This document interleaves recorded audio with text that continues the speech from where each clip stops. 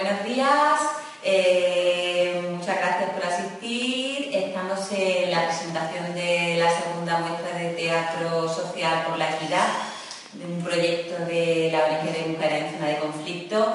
Y tengo el gusto y el placer de presentaros no solamente los contenidos de la muestra, sino también agradecer a que muchas personas, entidades, colaboradoras están haciendo que esta actividad que tiene lugar este fin de semana pues eh, logremos sumar, sumar esfuerzos eh, mediante el arte, mediante la cultura y mediante las diversidades para, trabajar en, red.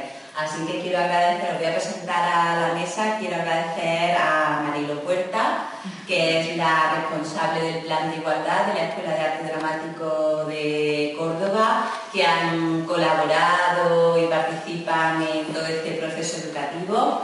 Agradecer mucho también a Ana Díaz Navarrete, que coordinadora del Instituto Andaluz de la Mujer, aquí en Córdoba, pues sumar desde su labor de trabajar por la equidad, que eso compartimos, y tenemos aquí también a Rafael Valverde, que es jefe de servicio de la Delegación de Cultura, que viene en representación de todas las instituciones y recintos culturales que, nos acogen. Y también aquí a la izquierda tenemos a Luis Guada, que es vicepresidente de la Federación DAO de Andalucía y presidente de la Asociación de Córdoba. Su presencia aquí es porque una de las actividades de la muestra, que, ahora explicará el mejor también, eh, está protagonizada por un grupo de teatro que procede de Málaga y se llama Rivadavia y que van a participar en esta muestra. Yo le voy a ceder un poquito brevemente la palabra a cada uno pues, para que diga su, aportación y qué les parece la muestra y, luego pues, explicamos un poquito el contenido que está en la nota de prensa y ya está. Bueno, pues buenos días. Buenos días a todos los compañeros de la mesa. Bueno, mi presencia aquí se justifica porque, como ha dicho Isma, soy responsable del plan de igualdad entre hombres y mujeres en arte dramático y dentro de, esa, de las actividades que organizamos siempre que nos propone Mujeres Zona de Conflicto algún proyecto relacionado con teatro social, con metodología eh, de teatro social, nosotros estamos encantados. Entre otras cosas por su profesionalidad y porque los alumnos, la evaluación que hacemos después de la actividad, eh, están encantados, mm, conocen de una buena mano, de buena mano todo lo que es la metodología eh, del teatro del oprimido y eso, bueno, pues no se da, nosotros podemos, normalmente sí se trabaja a nivel más teórico, pero a nivel práctico, metodologías tan concretas, pues mm, hay un vacío y ellas pues, de alguna manera sí vienen a, llenar todo ese vacío y, cada vez más les, interesa, o sea que es una experiencia que para nosotros está siendo muy fructífera. Entonces, mm, esta última, bueno, esta muestra de teatro social es una, segunda parte, una tercera parte, una cuarta parte, que que, que siempre estamos ya una, una muestra final de un trabajo que ya el año pasado comenzó. Y, bueno, nosotros estamos encantados con todo lo que han programado. Y bueno, pues, con el deseo de que haya mucho público que pueda ver y pueda conocer toda esta metodología que es muy interesante y que, está dentro del panorama europeo teatral y que, se dé a conocer aquí, pues yo creo que una suerte. Y aprovecho además para agradeceros, para agradecer vuestro trabajo como alumnado y, y, y muchas gracias. Una oportunidad. Hola, buenos días. Pues desde el Instituto Andaluz de la Mujer eh, queremos felicitar una vez más por, las actividades que hacéis. Soy una, entidad en Córdoba ya con bastante, bastante bagaje y con una experiencia bastante, bastante vasta. Y bueno, la verdad es que todo lo que, todas las actividades que hace lleva adelante, pues siempre tienen muy claro los objetivos, llegar a la sociedad y sobre todo la igualdad, ya sea de género, ya sea de trato, eh, es un, sello que identifica a la, entidad. Así que de verdad que queremos felicitaros por, por esta iniciativa del teatro que aparte de, aparte de tener su carácter social de, de la obra para afuera, para, para, lo que son los, los espectadores, también hace mucho trabajo del telón hacia atrás como es el trabajo de la autoestima de, de todos los actores y las actrices que, que participan y el empoderamiento que es tan necesario en el que tanto empeño desde el Instituto Andaluz de la Mujer ponemos porque es muy importante para, para, formar a personas fuertes y personas que estén seguras y que, bueno, pues, pues, a la hora de, relacionarse con la sociedad estén más sanas y más seguras mentalmente y anímicamente. Así que nada, felicitaros de nuevo y que tengáis mucha suerte. buenos días. Yo, dos palabras. Que felicitaros por esta actividad cultural que, que vais a desarrollar. Creo que es bastante positiva y invitar a, todos los ciudadanos y ciudadanas de la, de la capital a que participen en ella, que creo que es bastante interesante. Yo aquí soy un poco el eco que tiene Málaga, que es la entidad que participa en, la jornada, y simplemente reconocer dos cosas. Primero, dar la enhorabuena y reconocer el éxito de, un planteamiento como el que tenéis, porque eso es, eso es la, lucha por la que llevamos nosotros, es actividades inclusivas y más inclusivas que una muestra de este estilo, pues pocas cosas. Porque agrupa pues, colectivos de todo tipo, de, de sexo, etc. Y después, eh, desearos toda la suerte del mundo y que sean tan, fructíferas en la asistencia del público y el disfrute del público que asista, como el disfrute nuestro en, en organizarlas. Enhorabuena y adelante.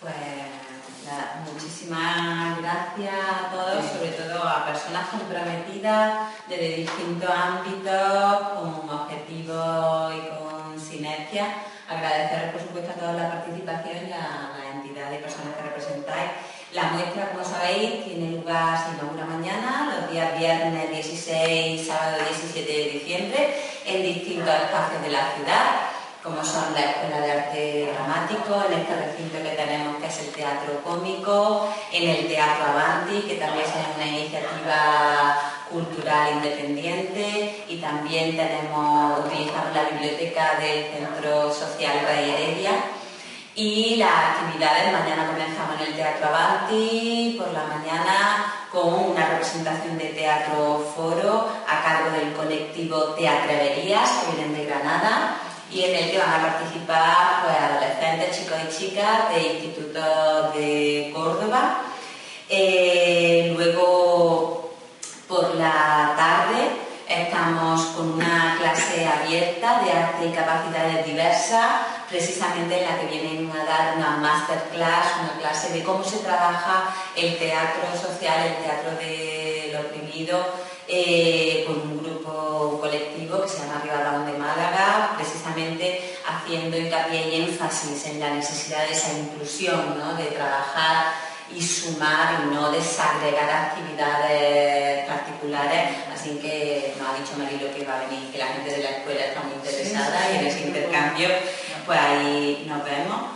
Eh, y luego por la tarde-noche, a las ocho y media, en la biblioteca del Centro Social se realiza la presentación de un libro que se titula Actuando en el Templo de Vesta, que es todo un estudio de una de las mayores especialistas en teatro social desde la mirada de los feminismos, como es Patricia Trujillo. Y vamos a contar también con la presencia de la editora del libro, que es Lola Renau, que se desplaza de Barcelona, de una, iniciativa editorial eh, también valiente y novedosa. Y el sábado 17, pues bueno, en esta muestra, esta muestra no es algo eh, puntual, sino es una actividad como de punto y seguido de todo un proceso educativo que ya iniciamos hace bastantes años como una línea estratégica de mujeres en zona de conflicto. Y es una muestra en la que han participado un montón de colectivos de todos los puntos de Andalucía, colectivos de mujeres, la Escuela de Arte No solo la de Córdoba, sino también la de Málaga, la de Sevilla, en Granada también la iniciativa cultural de la Escuela de Cultura Rey Chico.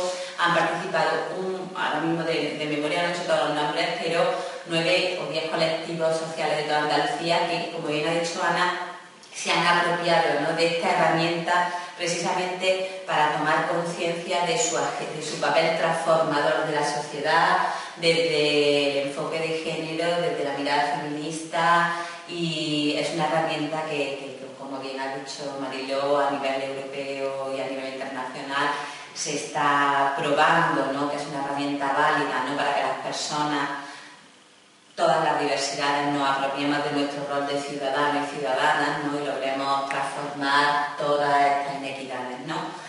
Y bueno, el sábado estas personas que han participado pues van a compartir, ¿no? o sea, lo han estado realizando en puntos de Andalucía, van a compartir aquí en el Teatro Cómico por la mañana pues toda esa experiencia, toda esa buena práctica y en un taller en el que incide sobre el arte de puringar, ¿no?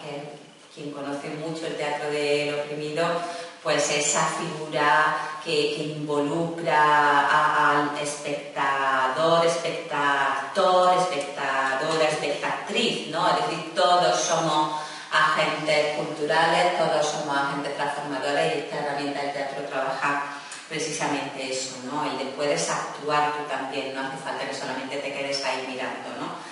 Y luego por la tarde, aquí, ¿eh? otra vez en este caso pues tenemos la suerte de contar con esa representación del grupo de Arriba Down que van a representar el Principito. ¿no? Y además pues explicarnos cuáles han sido los retos, las dificultades y los logros de todo este trabajo. Así que es una muestra abierta al público, cualquier persona que quiera acercarse a cualquiera de las actividades está. La información la encontramos en un blog que se llama Actúa por la Equidad Global. Y yo nada más que reiterar y agradeceros la participación, la disponibilidad siempre plena para cualquier reclamo que hagamos desde Mujeres en Zona de Conflicto. Y como bien ha dicho Ana, compartimos una estrategia desde la cultura, desde otros colectivos, pues para sumar y trenzar redes. Así que muchas gracias.